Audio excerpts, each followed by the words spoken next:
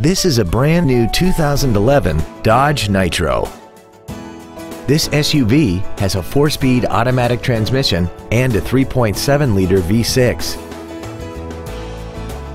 Its top features include air conditioning, heated side view mirrors, a rear window defroster, roof rails, a low tire pressure indicator, traction control and stability control systems, an anti-lock braking system, side curtain airbags, and fog lamps.